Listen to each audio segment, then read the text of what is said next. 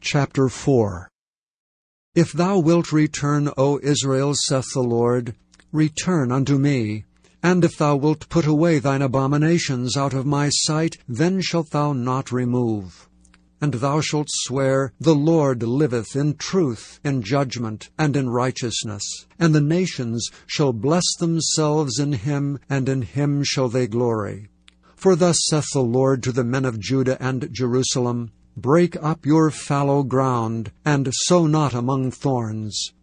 Circumcise yourselves to the Lord, and take away the foreskins of your heart, ye men of Judah and inhabitants of Jerusalem, lest my fury come forth like fire, and burn that none can quench it, because of the evil of your doings. Declare ye in Judah, and publish in Jerusalem, and say, Blow ye the trumpet in the land. Cry, Gather together and say, Assemble yourselves, and let us go into the defenced cities. Set up the standard toward Zion. Retire, stay not, for I will bring evil from the north, and a great destruction. The lion is come up from his thicket, and the destroyer of the Gentiles is on his way. He is gone forth from his palace to make thy land desolate, and thy cities shall be laid waste without an inhabitant. For this gird you with sackcloth, lament and howl, for the fierce anger of the Lord is not turned back from us. And it shall come to pass at that day, saith the Lord, that the heart of the king shall perish, and the heart of the princes, and the priests shall be astonished, and the prophets shall wonder.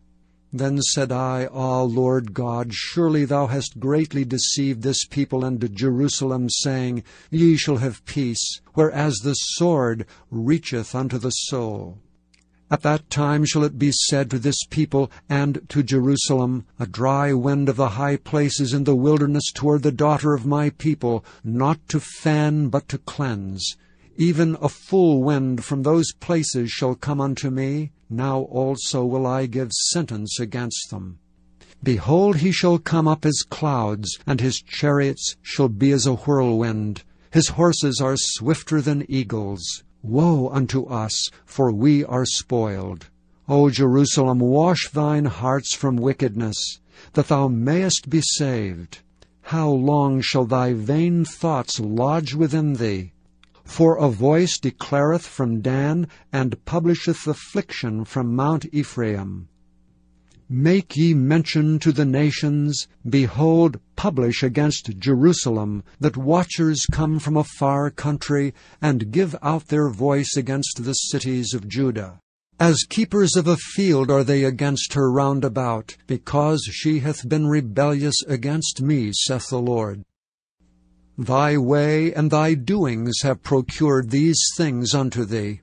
This is thy wickedness, because it is bitter, because it reacheth unto thine heart. My bowels, my bowels, I am pained at my very heart. My heart maketh a noise in me. I cannot hold my peace, because thou hast heard, O my soul, the sound of the trumpet, the alarm of war.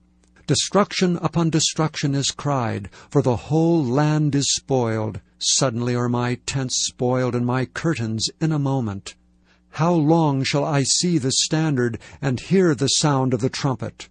For my people is foolish. They have not known me. They are sottish children, and they have none understanding. They are wise to do evil, but to do good they have no knowledge.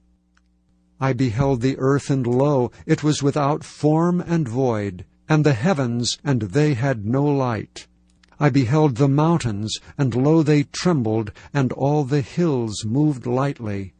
I beheld, and lo, there was no man, and all the birds of the heaven were fled. I beheld, and lo, the fruitful place was a wilderness, and all the cities thereof were broken down at the presence of the Lord, and by his fierce anger. For thus hath the Lord said, The whole land shall be desolate, yet will I not make a full end. For this shall the earth mourn, and the heavens above be black, because I have spoken it, I have purposed it, and will not repent, neither will I turn back from it. The whole city shall flee for the noise of the horsemen and bowmen. They shall go into thickets and climb up upon the rocks. Every city shall be forsaken, and not a man dwell therein. And when thou art spoiled, what wilt thou do? Though thou clothest thyself with crimson, though thou deckest thee with ornaments of gold, though thou rentest thy face with painting, in vain shalt thou make thyself fair. Thy lovers will despise thee, they will seek thy life.